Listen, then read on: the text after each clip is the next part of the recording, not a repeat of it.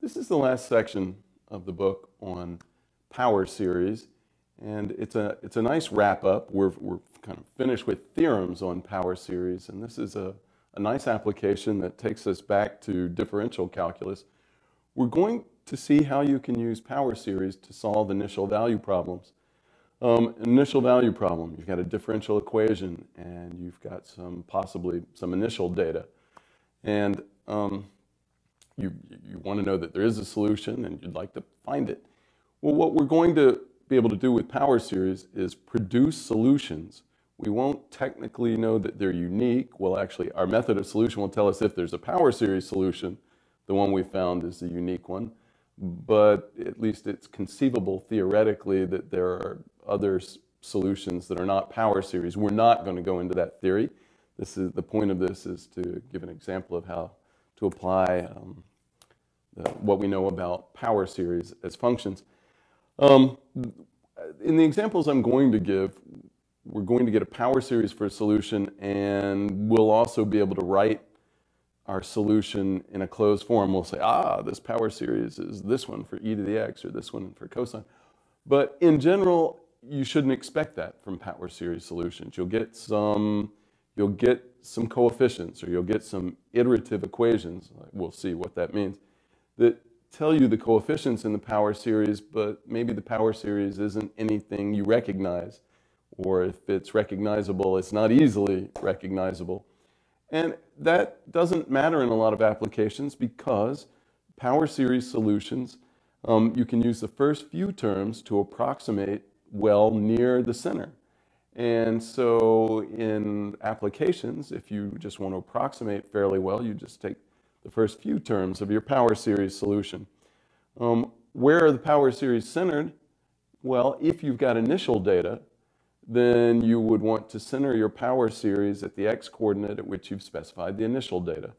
Um, if you're not given any initial data, you just have a differential equation, then either you need to know ahead of time for your application um, what, what x values you're most interested in, then you'd want to center near there, or just pick a convenient center when the most convenient one is x equals 0. So let's do some examples. Um, let's, um, let's solve. Let's do one that we can do by hand first. Let's solve dy dx equals x times y and y at 0 equals 5. Okay. So we'd like to solve this differential equation using power series. Well, first of all, we're going to solve it without power series, see what we get, and then see that the power series solution gives us the same thing, though it may be, you know, it, it helps to know ahead of time what it's supposed to equal, and then we'll look at our solution and go, aha, yes, that's what it is. So this is separable. You should remember that it's separable um, from differential calculus. You, you divide both sides by y and multiply by dx. Um, if you wonder why it's okay to multiply and divide by, or multiply or divide by these individual differentials, try to remember it's just kind of suggestive notation. Um, and while it doesn't mean anything really technically right here, as soon as we integrate, it put in the integral signs, it does. Divide both sides by y, multiply by dx, and you integrate both sides. And over here, um, we don't have to worry about y being identically equal to 0 because our initial y value is 5. Um, in fact, we'll go ahead and assume y has to be positive since typically you only expect solutions to differential equations to be to hold near the initial data. So assuming that y is always positive, since it starts out at 5, it's fine. Uh, it's at least positive everywhere near 5. Um, integrate this. Normally you get the natural log of the absolute value of y, but we're assuming y is positive, so we'll just get the natural log of y equals x squared over 2 plus a constant. We'd like to solve for y. You raise e to both sides, and you get y is e to the x squared over 2 plus c you split off the e to the c part, and uh, that's just some new constant. So you get y equals a e to the x squared over 2. Maybe a long time since you solved separable equations, but that's what you do. Now you plug in your initial data that when x is 0, y is 5, and you get 5 equals a e to the 0. e to the 0 is 1, so you get a is 5. And then we have our nice closed form of the solution, the unique solution to that initial value problem, y equals 5 e to the x squared over 2. I'm going to leave that in this corner because now we want to see how you do this with power series. Not because uh, this is not to apply to a problem that we can easily separate like this one. Right? You, of course, this is how you would solve this problem. But you can find power series solutions even in non, for non-separable equations, for equations which no one knows how to solve them in a nice closed form, closed, you know, finite, some, as an elementary function, some finite combination of our standard functions. Um, and yet power series solutions can be fairly easy to produce. So um, let's see how you approach this with power series. So first of all, where do we want to center our power series solution? We want to center it at this x value where we're given the initial data, so at x equals 0. So we're going to use a power series centered at 0. Um, you can think Maclaurin series, but um, typically when you say Maclaurin series, you mean you have some function first, and then it's Maclaurin series. Um, we don't have some kind of predefined function, but if you want to call it a Maclaurin series, I won't complain. We're going to look for a solution like this that's some infinite series centered at zero. So, and the whole point is that the power series is completely determined by its coefficients. And so we'd like to see what these coefficients are. Um, so, what do you do? Let me also get the differential equation or the whole initial value problem out of my way. Let me put it here. dy dx equals x times y. y at 0 is 5. Well, we know how to differentiate power series. You differentiate like they're infinite polynomials, polynomials that never end. We know how to multiply x times a power series. So we know how to calculate this side in terms of power series. We know how to calculate that side in terms of power series. We know that power series representations of functions are unique when you specify a center, if they're both centered at zero. Then you match coefficients on both sides and you get conditions that all the coefficients B have to satisfy. And then you solve those conditions. So let's um, see what we get. Uh, certainly the initial condition is easy to deal with. We want y at 0 to be 5. So 5 should be y of 0. On the other hand, if you plug 0 in here, all these terms go away, and you get b naught. So we immediately know that in our power series solution, we're going to have b naught equals 5. Okay. Phew, that was tough. but now we want to differentiate.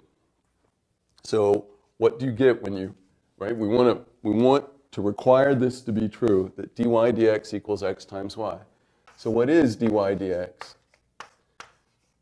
It is, you differentiate this, the derivative of a sum is the sum of the derivatives, so you can just write this. Um, you need to start at the constant term b naught, its derivative will go away, and you'll start with the, the degree 1 term, first power of x. So I'm just going to start at k equals 1. And then you can differentiate this to term in time. bk is a constant.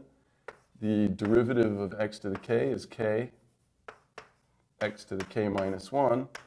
And you could write out some terms of this. It means we've got b1 plus 2 b2 x plus 3 b3 x squared, and so on, I guess when I wrote it like that, I put the K here and the BK over there. So to make it match that, I could write that.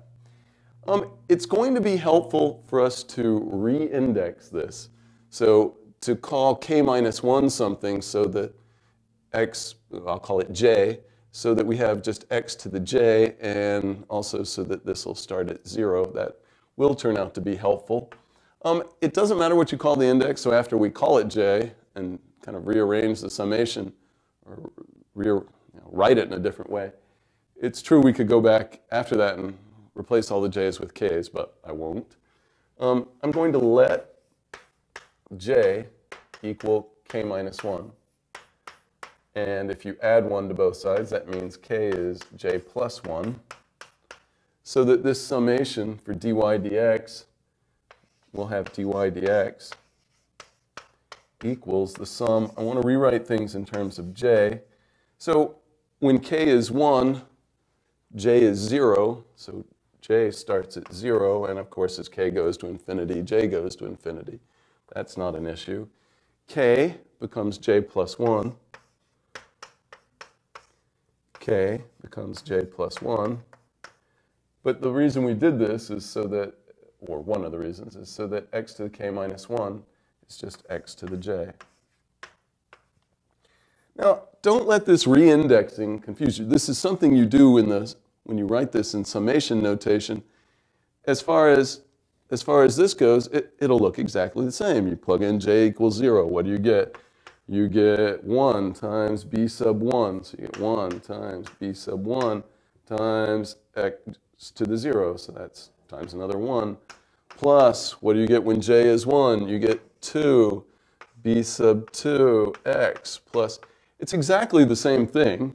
We've just written it in terms of a different summing index so that we can do something nice in a minute.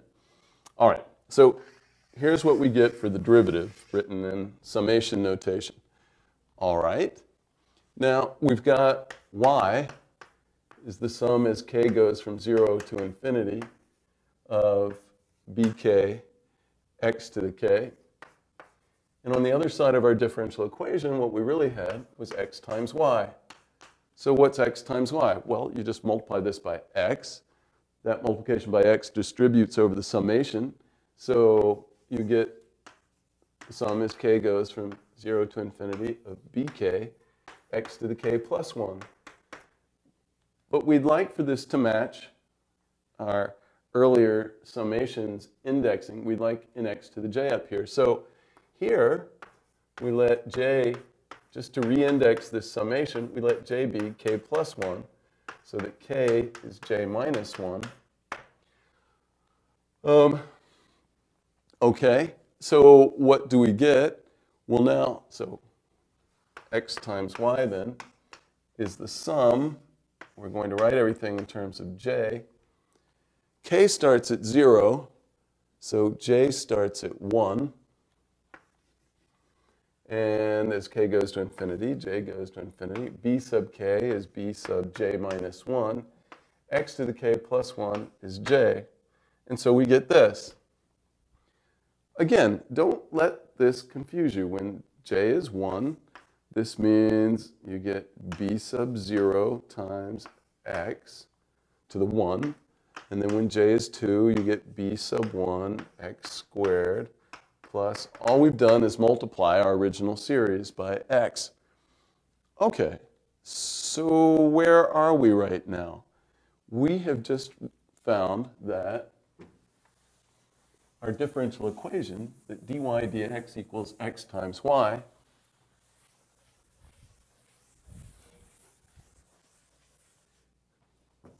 so we started with y equals the sum as k goes from 0 to infinity of bk x to the k. We've just found then that the equation dy dx equals x times y becomes the sum as j goes from 0 to infinity of j plus 1 times b sub j plus 1 times x to the j, so that was this, dy dx, equals the sum as j goes from 1 to infinity of b sub j minus 1 times x to the j. This.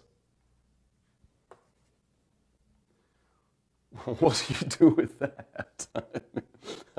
Uh, this certainly looks worse than the separable equation, but it's really not. what, what do you do with this? Power series representations are unique. The coefficients of the various powers of x here have to match. And the reason we re-indexed with just have x to the j is so it's easier to do this matching instead of we had a k plus 1 and a k minus 1. But now they, they have the same indexing so that the term in front of, the coefficient in front of x to the j on this side has to equal the coefficient in front of x to the j on the other side for all j. Now, you should notice something immediately. This one has a term, this one starts at j equals 1. This one starts at j equals 0. So this one has a coefficient in front of x to the 0. This one doesn't even have an x to the 0 term. But think of it as it's 0 times an x to the 0 term. In other words, this one has no constant term. But that has to match what's over here. So the point is the coefficient of the constant term on this side has to be 0, right? Because this side has a constant term, this side either think doesn't have a constant term or its constant term is 0, which is a better way to think of it, which means when j is 0, when j is 0, we would get 1 times b sub 1 as the coefficient. This has to be 0 because that's the constant term over here, what you get when j is 0, 1 times b sub 1, and the constant term over here is 0. So we have to have this. Aside from that, for all j greater than or equal to 1, so what do we get after that? For all j greater than or equal to 1, the coefficient over here has to match the coefficient over here. So we have to have j plus 1 times b sub j plus 1 has to equal b sub j minus 1. All right? Or thinking of we've got the early coefficients first and you want to know about the later ones, you could write this as the j plus first coefficient is j minus first coefficient divided by j plus 1. This, this is an iterative formula for the coefficients. It tells you that you want to know a higher coefficient, a higher b sub j plus 1, you need to know a lower one. Um, you can sometimes you can get nice closed formulas for the coefficients from this. Sometimes it's not so easy. Keep in mind we know that b sub 0 is 5, and we also know that b sub 1 is 0. All right, and what we hope is that from knowing these two kind of starting b values and having this iterative formula, this is for j, I'll write it again, this is for j greater than or equal to 1, that that tells us what all of the b's are. And they do. And once we have all the b's, that tells us the power series. And so it gives us a solution. Um, uh, really, technically, we should check the radius of convergence of our solution to make sure we have a solution that exists for some x's beyond the center. But we're going to see, in fact, that our solution agrees with this, and so we'll know that it's true. So we, we start with, now our problem is this. You've got b naught equals 5, b1 equals 0, and for j greater than or equal to 1, b sub j plus 1 equals b sub j minus 1 over j plus 1. Now, it, technically, at some point here, we should do something called induction. You should prove that some formula is true by induction. But in fact, you don't want to get too carried away with inductive proofs, and what we'll see will be completely convincing even without it. And in a lot of cases, I'll say it again, you shouldn't expect nice closed formulas or that they're easy to find. And so you would just write the first few b's and then use that the, partial, the corresponding partial sum from the infinite series to approximate the solution that you're looking for. But, in fact, we'll be able to do better than that. So what happens here? This, because this is b sub j minus 1 and b sub j plus 1, it, um, you skip terms here. This tells you you need to know what happens two before this one to know about this one, not one before it. So things kind of split up. So for instance, when j is 1, right? When j is 1, this says b sub 2 equals b sub 0 over 2. So it's 5 halves. Great. When j is 2, you get this formula. Tells you, oh, and b sub 3 equals b sub 1 over 3. But b sub 1 was 0, so this is 0. When j is 3, you get b sub 4 equals b sub 2 over 4. So that is, okay, b sub 2. We had b sub 2 is 5 halves, so we get 5 halves over 4. So you get 2 over 4. When j is 4, you get b sub 5. b sub 5 equals b sub 3 over 6, uh, over 5. But b sub 3 was 0, so this is 0. What you should see is, at least for the even ones, when j is even, what's going to happen is you'll always get 0 because you're starting at 0 and if, if j is, um, if, if, oh, well, okay, it's with j is even, it's if the subscript on the b is odd, so uh, it should, anyway, all the odd coefficients are going to be zeros, and that corresponds to the even j's here. But what's, so what's happening is if, if, um, if you're at one odd subscript, so let's say j minus 1 is odd, then j plus 1 will be odd. And all the earlier odd ones are 0, so all the later odd ones will be 0. Every time you go up by 2, you get what you had before divided by j plus 1. But if this is 0, it's always going to be 0. So what we're concluding is that b sub k is 0 if k, all right, so the actual subscript on the b, not j, um, if b is, if k is odd.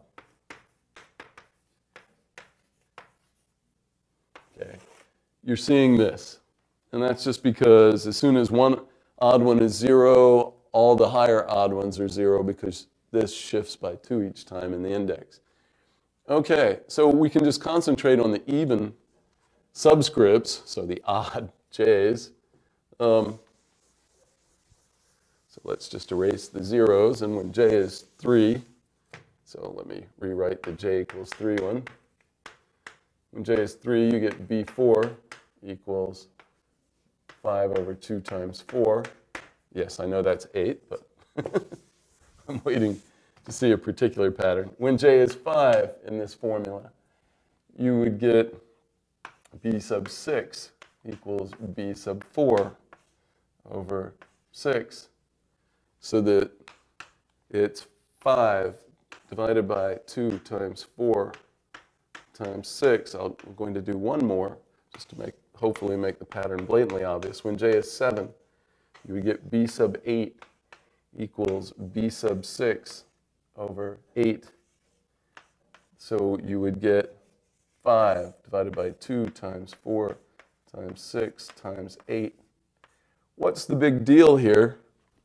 You'll notice that this is just going up by, you know, it's by uh, multiples of 2, 2, 4, 6, 8. Well, if you factor out all those 2's, this is, you can factor 2 out of each one of those. This is 2 to the fourth times 1 times 2 times 3 times 4. Right, I factored out four 2's. Well, this was 5 over 2 cubed times 1 times 2 times 3. And in general, what you're getting down here, the, the numerator is always 5. The denominator is powers of 2. What power of 2? Half the index. Um, and then you've got half the index factorial. So what I'm saying is, without proving it by induction, but just by seeing the pattern, you should see that b sub, if you have b sub 2k, so an even index on the b's, that what you're getting is that this is 5 divided by 2 to the k, right, k is half the index, 2 to the k times k factorial, this all right. that tells us the whole series. It tells us all the coefficients in the series. We only get all the odd terms are zero, and the even coefficients are given by this. This is exactly what you get for this series. Now, it's um, whether you would see that if you didn't know it is another question. But we do know them.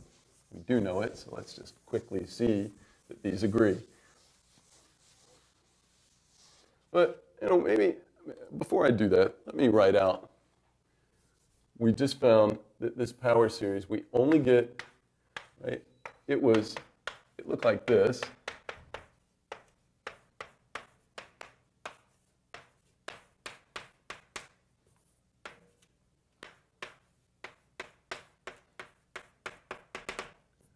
But what we found is that all of the odd terms are zero. So this one's not here, this one's not here.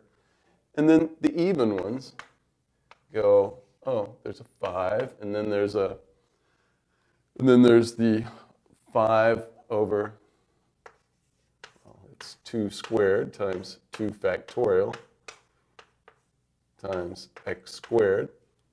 And then there's a plus here, there's a, it's a 5 over 2 to the fourth times um, uh, did I just mess up? I did just mess up. Sorry. Let's try that again. There's a the uh, the B2 term. I looked at the B4 term is five halves. The B4 term is 2 squared over 2 factorial. The, the b to the sixth term would be this, and so on. So you get this. Yeah, and if we had to, if we couldn't recognize this as something, you could just, you know, kind of leave it like this and say, oh, and if I want to approximate the solution, maybe use these first three non-zero terms, which would mean go up to the x to the fourth term. Um, but it is true that we know what this equals, and you can see it fairly easily. e to the x, we know that that's given by the series, the sum as k goes from 0 to infinity of x to the k over k factorial. So what is e to the x squared over 2? e to the x squared over 2, you replace the x there by x squared over 2. So you get the sum as k goes from 0 to infinity of x squared over 2 to the k over k factorial. But what is that? That is the sum as k goes from 0 to infinity of, all right, you get a divided by 2 to the k, so I'll write that in the denominator, 2 to the k, k factorial, and an x to the 2k. So you get this, which means that the coefficient, uh, uh, that's e to the x squared over 2. What does multiplying by 5 do? It just multiplies each term by 5. So you get this, which means that the coefficient in front of the x to the 2, the coefficient in front of the x to the 2k term, so b sub 2k, is 5 divided by 2 to the k times k factorial, which is exactly what we found for our coefficient. So yes, it is exactly 5 e to the x squared over 2. So this time, let's look at an example of a, of a differential equation that's not separable. So you shouldn't have learned how to solve it in differential calcul calculus. Maybe you did, but um, probably not. And let's, um, let's see how a power series solution goes.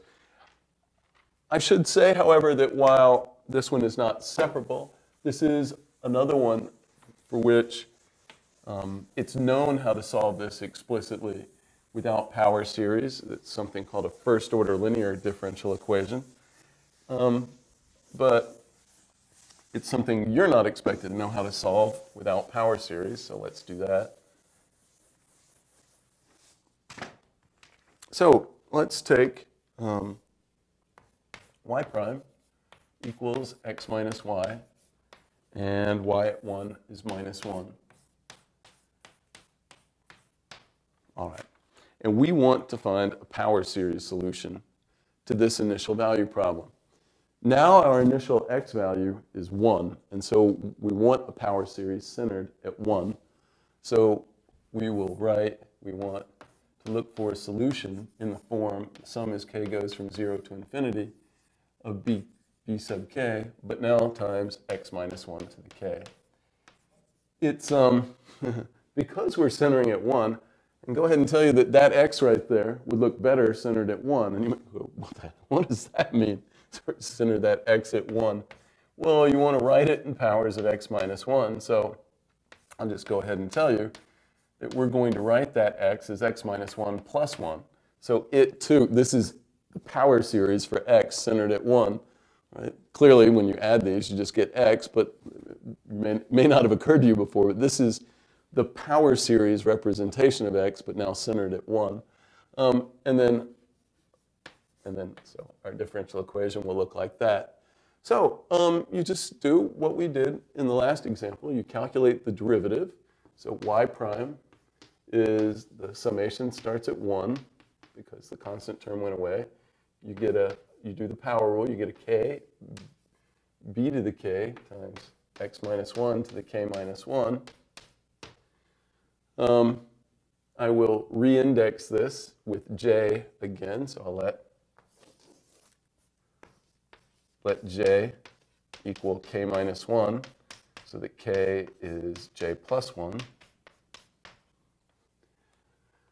Um, okay, and then we find then this we find that y prime then is the sum, and now it's j k starts at 1, so j starts at 1 minus 1. It starts at 0. k goes to infinity, so j goes to infinity. k is j plus 1. k is j plus 1. x minus 1 to the k minus 1 is j. This. And the other side, well, we don't really do much with the other side. Um, it's just minus y to have both indices with a j, I'm going to replace this k with a j, but you, know, you don't have to do that. It just makes things look a little more manageable, or I don't know, look a little more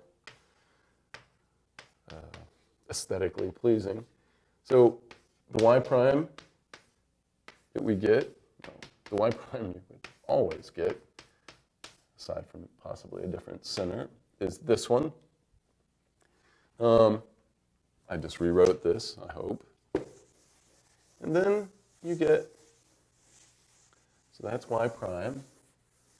And then you get, let me write things, this has to equal, I'm going to write this how I write series, so in increasing powers as you go to the right, this, and then plus, or sorry, minus this. So um, I'll write that as plus a negative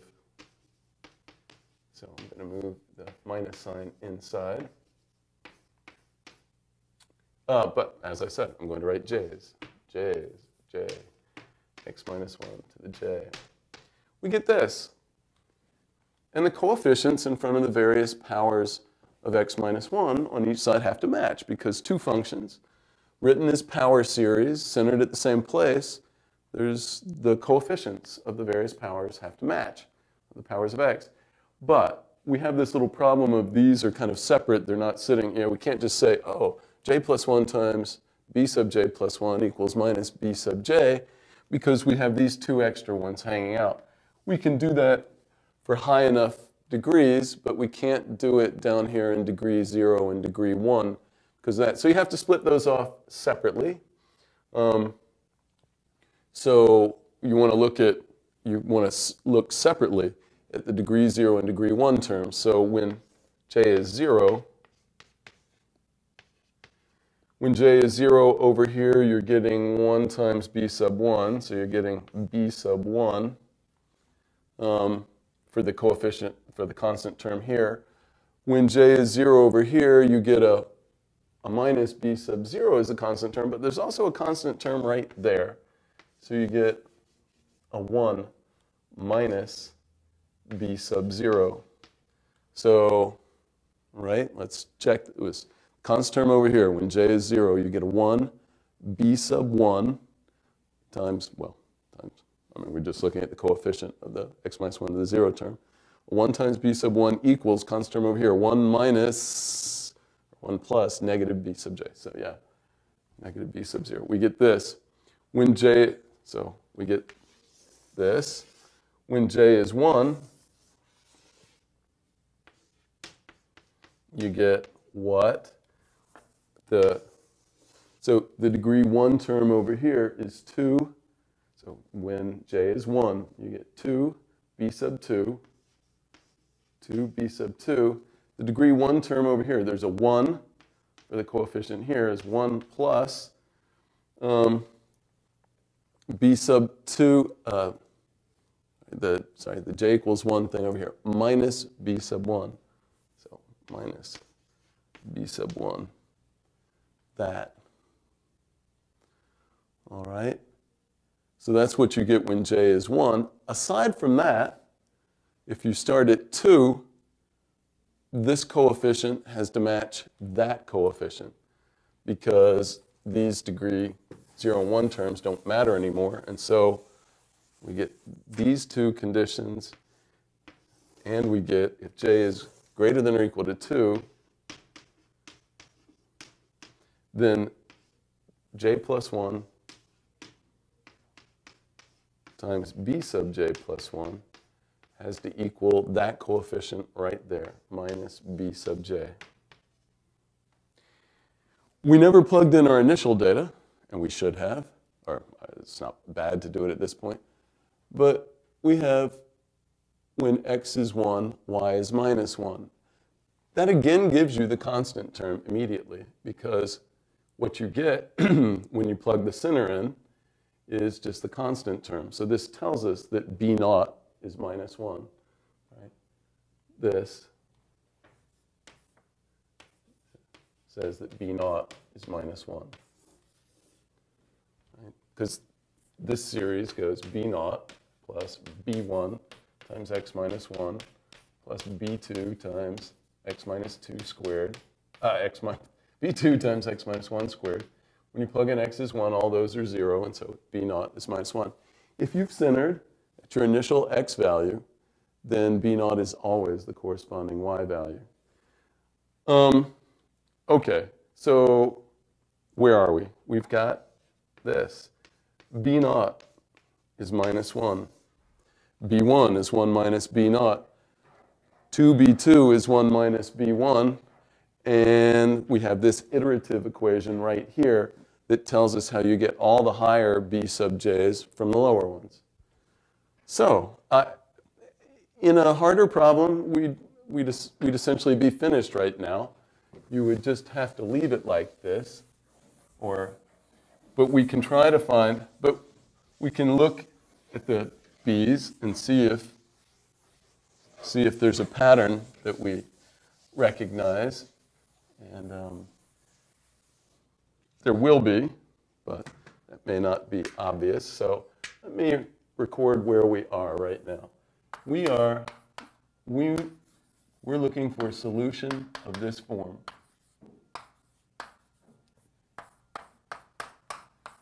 And what we know now is that to have a solution of that form, we need b naught equals minus 1, b, b1 equals 1 minus b naught, b2 equal, or 2b2 equals 1 minus b1, and then our big iterative formula for j greater than or equal to 2, that j plus 1, actually let me divide by j plus 1, b sub j plus 1 is minus b sub j divided by j plus 1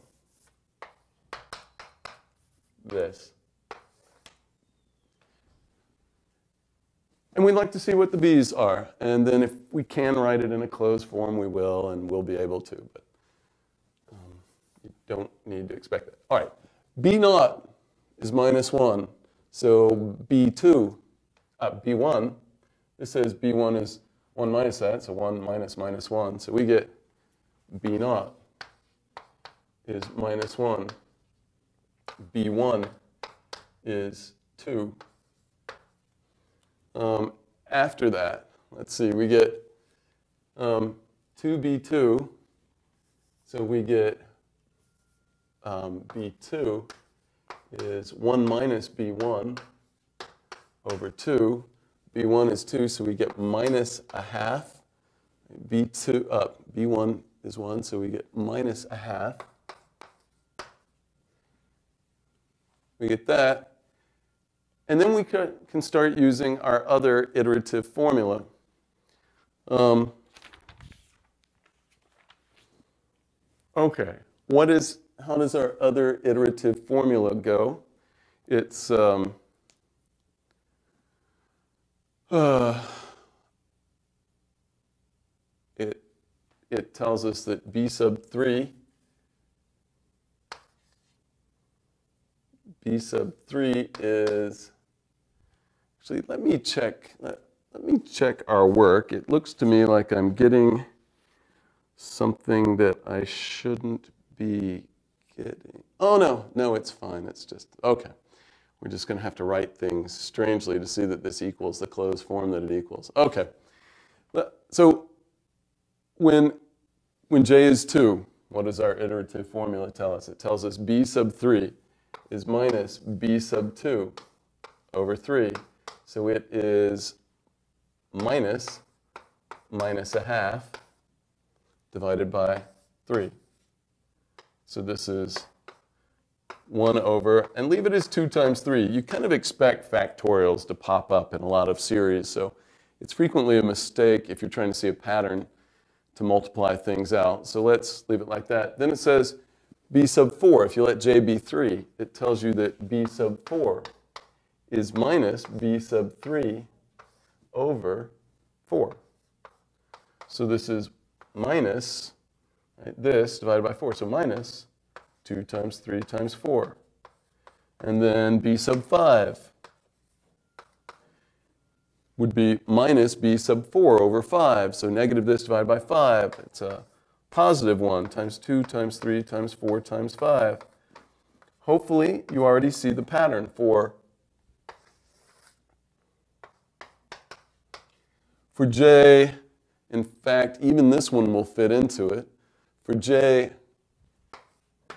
right, it's minus, plus, minus, plus. So the sign is alternating. You do that with a minus 1 to the, actually, let me go with k. Um, you do that with a minus 1 to the k, or a minus 1 to the k plus 1. And then the denominator is the factorial of the b. So all you're getting is bk equals, well, it's a minus 1 to some power over the corresponding factorial, k factorial. Um, we need, when k is even, we need to get a minus sign, so we need something that's odd up here when k is even. k minus 1 or k plus 1 will work. It doesn't matter. I'll pick k plus 1. So this is what we're getting for k greater than or equal to 2, which actually does work when k is 2. And then b naught and b1 are different. So what we're getting for our power series solution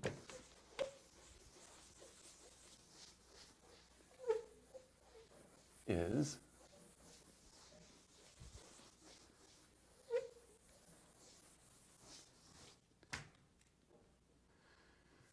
is this, that B naught is minus 1, B1 is 2, B k greater than or equal to 2, bk equals minus 1 to the k plus 1 over k factorial. And so, and our series looks like this.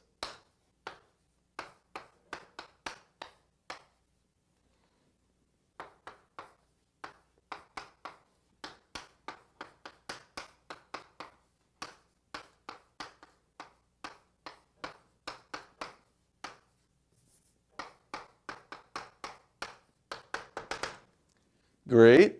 Well, if, if you want to write this in a closed form, you're going to have to look at it, mess with it for a while. But if you just wanted to approximate, you could just take the first few non-zero terms or the first, well, first few terms. Um, but if you really want to write out what's going on, it's, um, so we're getting a minus 1 for b naught plus 2 times x minus 1 plus, and then you get a, the, then they start going according to this pattern. So a minus, so when k is 2, you get a minus.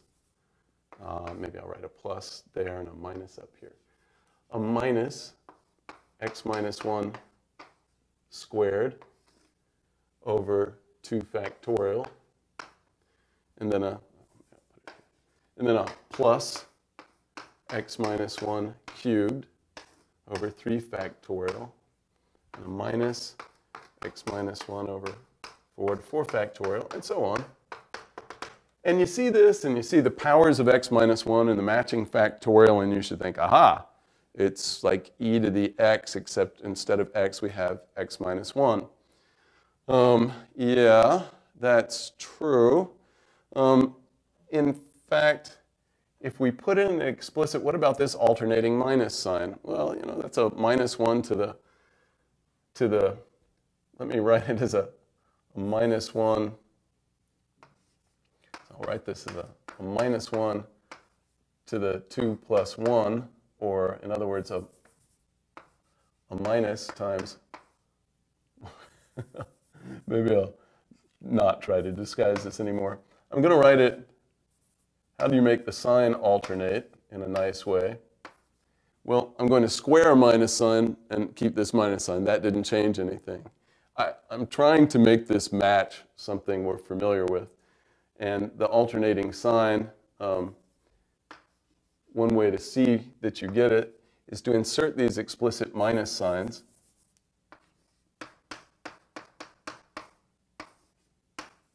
So now something negative to an odd power, that's negative, but negative, so it's the plus, the plus that we had.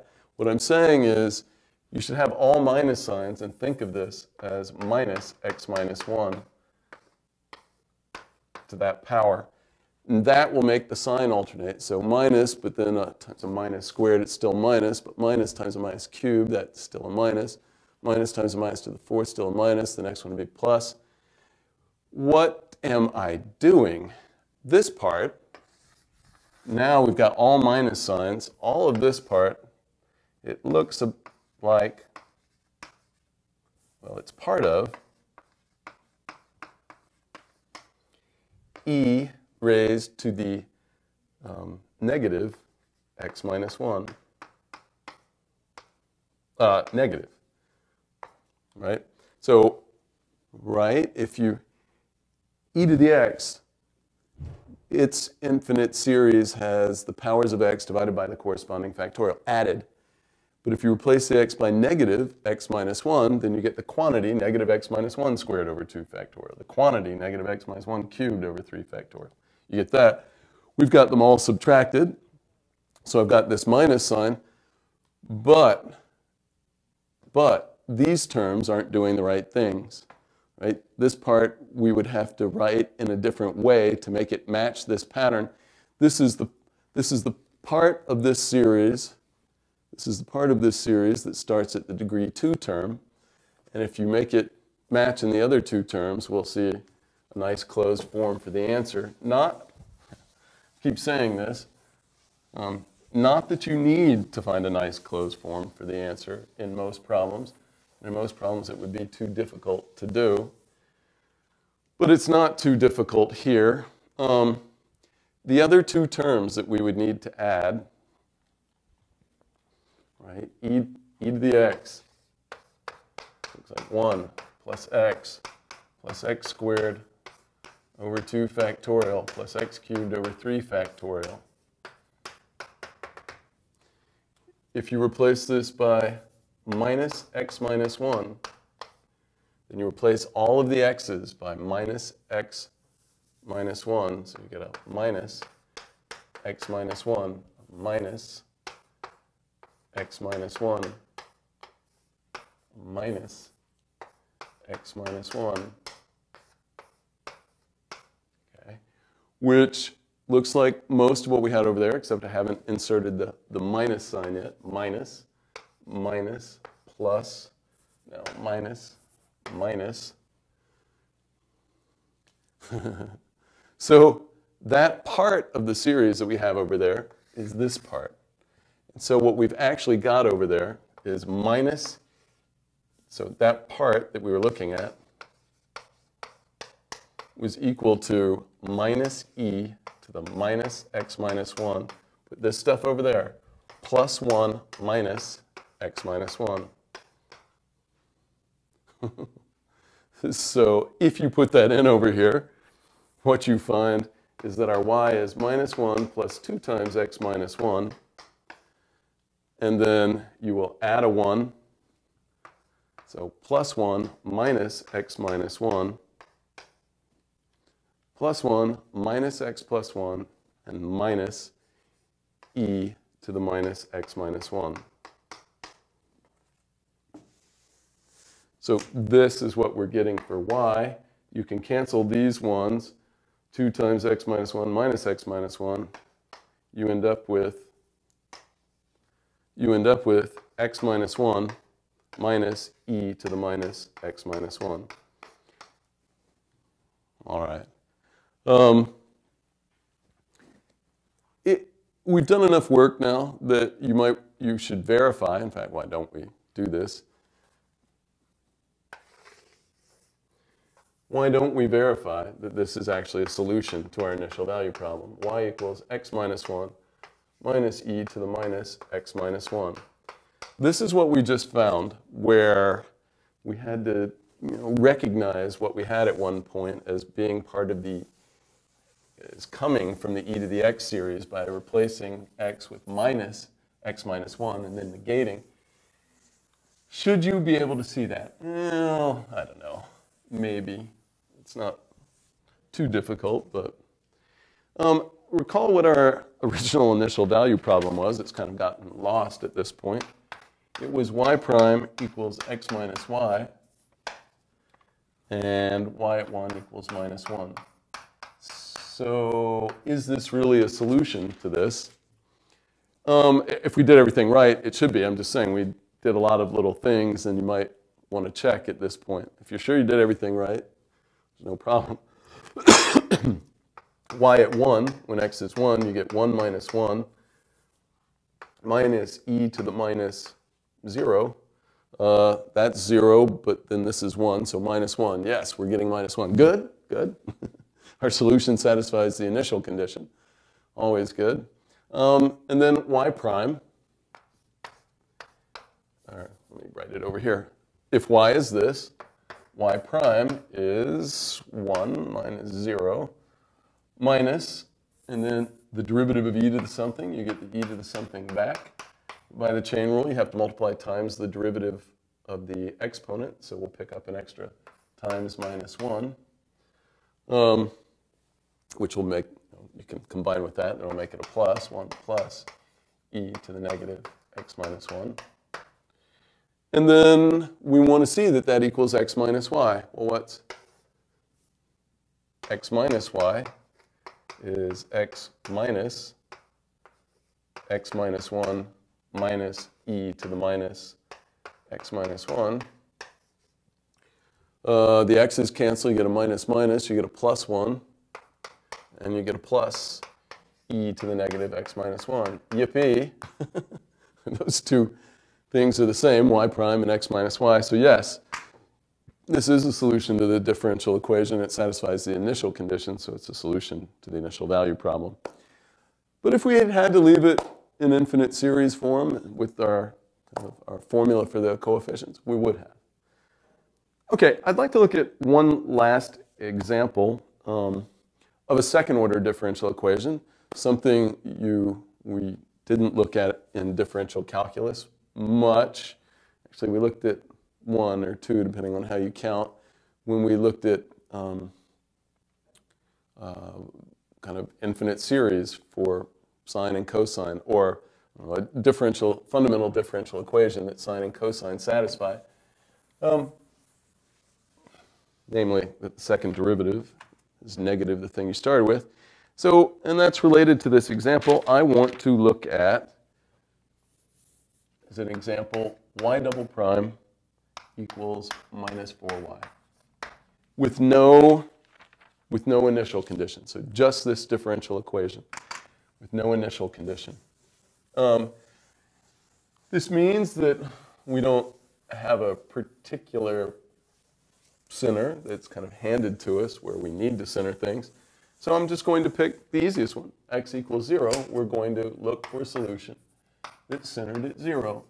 So we're going to assume that there's a solution that looks like this and find it. And then you can, in fact, verify it is a solution. But I'll say again, you can't really know it's unique. We'll know it's a unique power series solution. Although, with no initial conditions, they're going to be at least, you would expect for a second order differential equation, so with two derivatives, there'll be two unknown constants. So we're going to have two unknown coefficients, b0 and b1. But if you specify those or give enough data to determine those, then you'll know all the rest of them. So all, our, all of our coefficients will be expressed in terms of b0 and b1. So what do you do? Well, you take the second derivative. Um, so that's easy. y prime is the sum, you start at 1 again. The sum as k goes from 1 to infinity of k, b sub k, x to the k minus 1. Differentiate again, y double prime. Now you start at k equals 2. Um, k equals 2 to infinity of k times k minus 1 times bk times x to the k minus 2. Um, and now I'll, I'll re-index. I'll also, for aesthetic beauty, I'll call this index, I'll also I'll rewrite this in terms of j. We know this doesn't matter, but kind of it's nice to make them look the same. And now I'm going to re-index this. I'm going to let j be k minus 2 j is k minus 2, so k is j plus 2. This summation then becomes the sum as j. All right, when k is 2, j is 0. So this starts at 0. And as k goes to infinity, j certainly goes to infinity. k is now j plus 2. K minus 1, it, uh, plus isn't showing up very well. Um, k is j plus 2. k minus 1 would be j plus 1. And then k minus 2 is j, x to the j. So what are, what are we getting in our differential equation?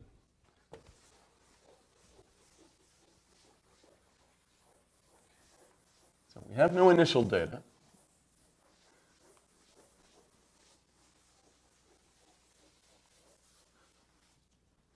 But we get that we're supposed to have y double prime equals minus 4y.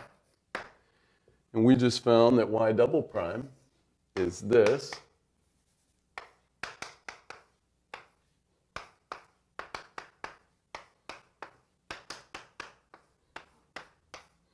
And minus 4 times y, so it's minus 4 times our original series. I'll move the minus, but re, using j for the index now, minus 4 bj x to the j. So the summations match. They both start at 0. We, they both have powers of x to the j. You just need, for all j, you need that coefficient to be that coefficient. So for all j greater than or equal to 0,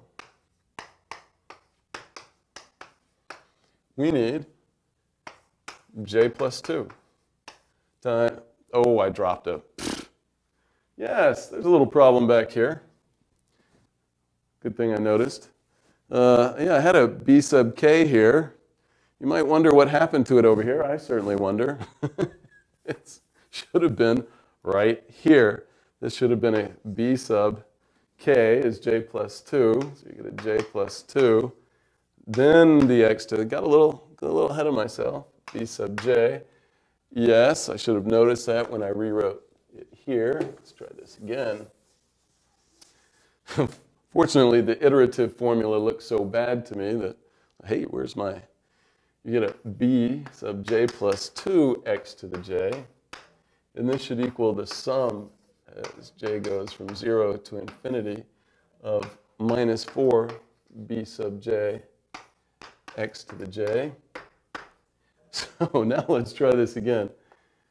You need this coefficient to be the same as this one. So for all j greater than or equal to 0, we need j plus 2 times j plus 1 times b sub j plus 2 to equal minus 4 b sub j. Or what's the same thing, dividing, assuming we've got the earlier ones and want the later ones, it's b sub j plus 2 is minus 4 bj divided by j plus 2 times j plus 1. All right, so this, and that's it. Now, we don't know b sub 0 and we don't know b sub 1, but what this tells us is that every time you know a coefficient, you know the coefficient 2 bigger than that. So that if we know b sub 0, we know b sub 2. If we know b sub 2, we know b sub 4. If we know b sub 4, we know b sub 6. At the same time, the odd ones. If you know b sub 1, you know b sub 3. If you know b sub 3, you know b sub 5. So the coefficients naturally break up into the even ones and the odd ones um, because the index, in, in our iterative formula, the index goes up by 2 each time the index involved on the left and on the right. So what does this tell us that we get? So I'll write it again. b sub j plus 2 equals minus 4 times b sub j over j plus 2 times j plus 1. And I'd like to look at the even and odd coefficients separately. So B naught. We don't know B naught. Oh well, too bad. B naught is just B naught. Great. But then if you plug in j equals 0 here, you get b sub 2 equals minus 4 times b naught over, so we're plugging in j is 0, so over 2 times 1, so it's minus 2b naught. Okay, um, what's b sub 4?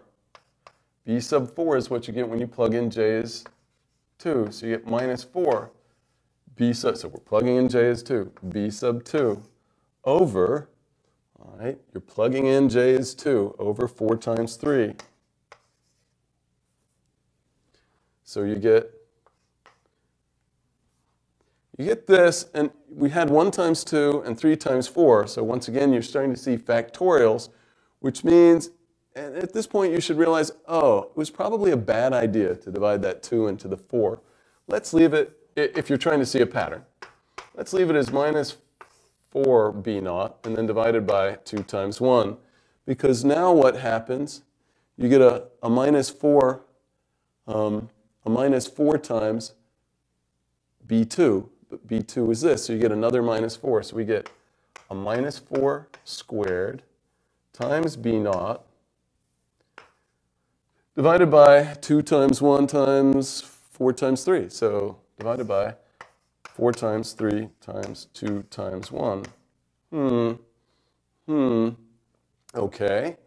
So let's do one more. b sub 6. That's when j is 4 is minus 4 b sub 4 over 6 times 5. So you multiply this by another minus 4 and divide by 6 times 5. So you get a, a minus 4 cubed b naught over 6 factorial. Hopefully, at this point, you can see what's going on. We're getting that the even terms, so b sub 2n is, okay, it's a minus 4 to half of the index, so a minus 4 to the n times b naught over 2n factorial.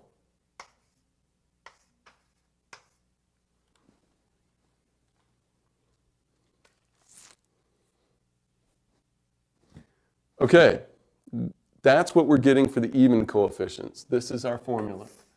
B sub 2n is minus 1, uh, minus 4 to the n times b naught over 2n factorial.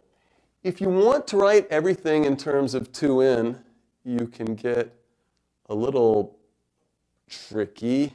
Um, you can write, and I am going to do this, but minus 4 to the n is certainly minus 1 to the n times 2 squared to the n. So it's minus 1 to the minus 1 to the n times 2 to the 2n. And it is nice to write this that way. Um, you get a minus 1 if you're trying to make it look like anything nice. Um, so we get this, so that that 2n up there matches the index on the b and matches the factorial. It's just nice to see that, yeah, the minus 1 still has an n on it, but hey, you can't fix everything. So that's what we're getting for the even coefficients. What about the odd ones? So again, we don't know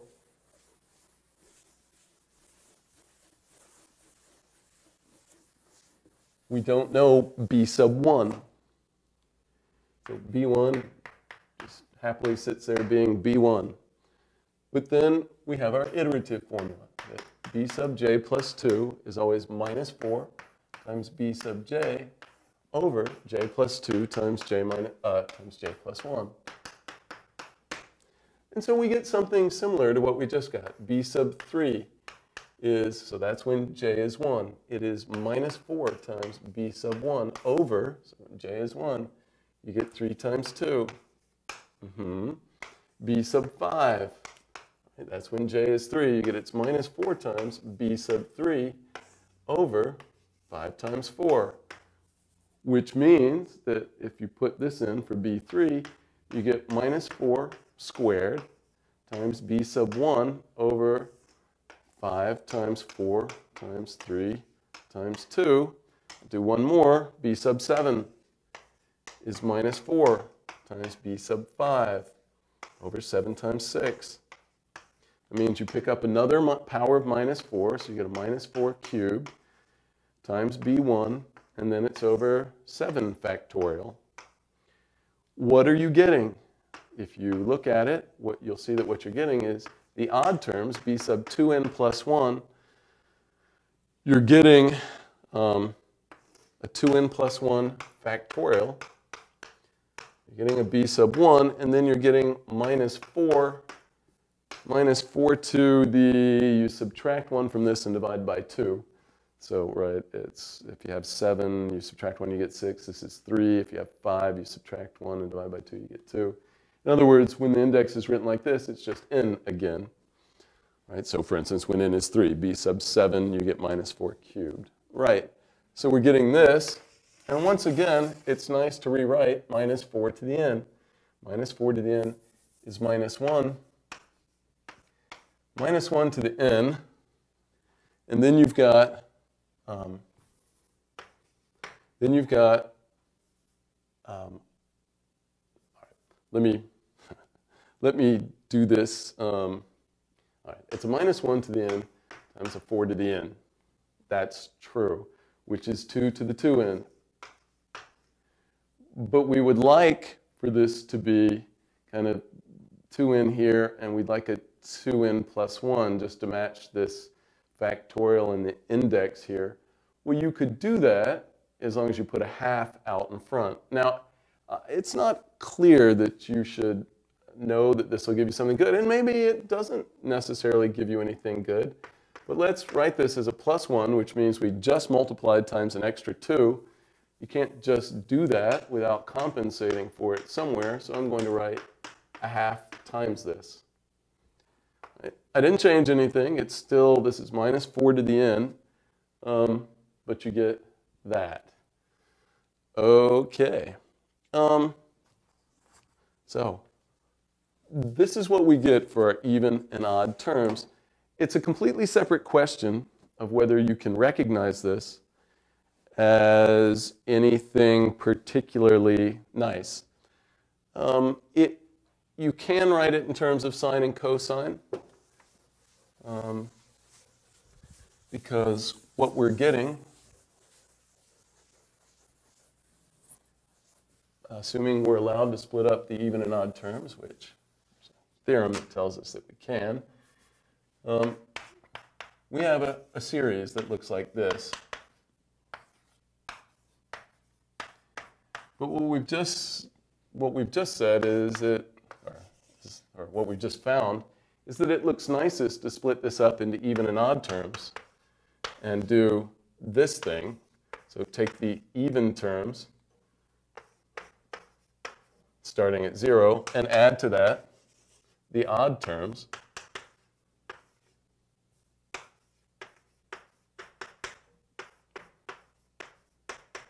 pick, starting at n equals 0, make the start at b1, and separate it like that.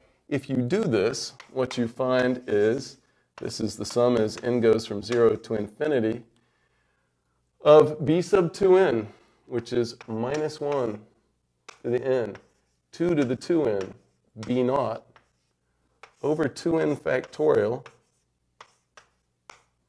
times x to the 2n.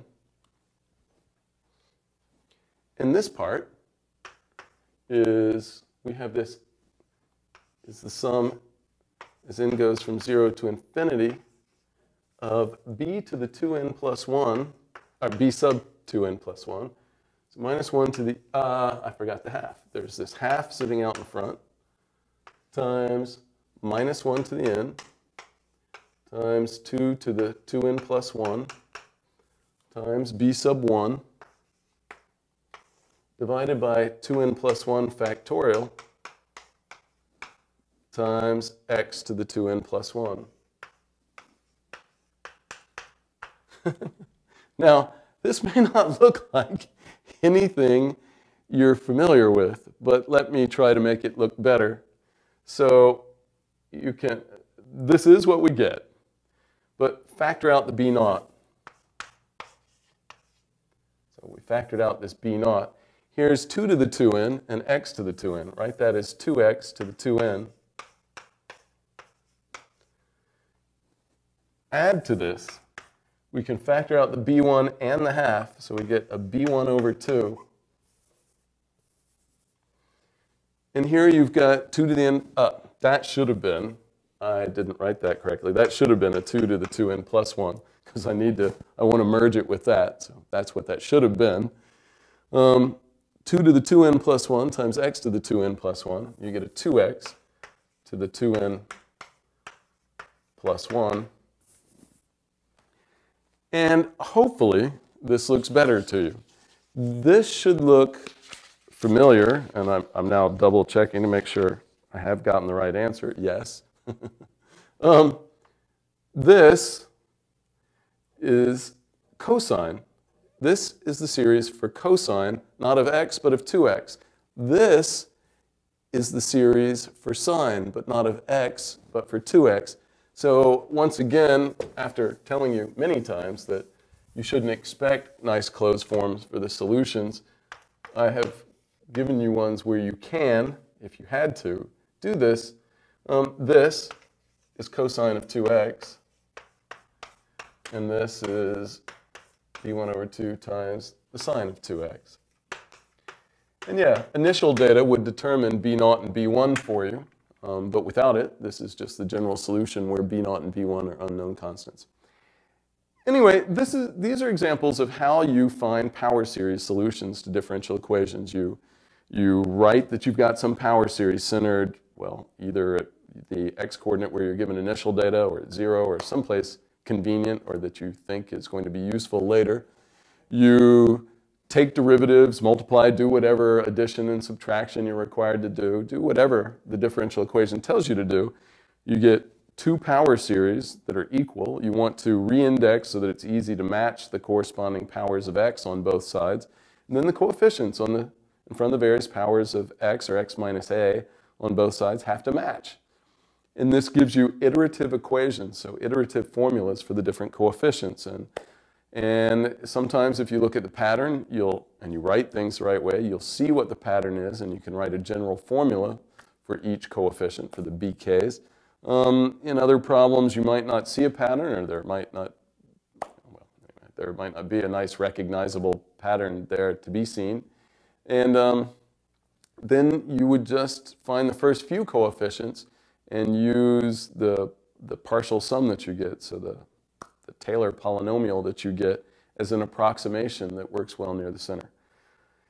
In the next, we're going to start a new chapter of the book next, and the next chapter will deal with um, sequences and series of constants in a way. What we're about to do is all the technical details that you need to make all the stuff we've talked about in power series actually work. So that's what we'll do next.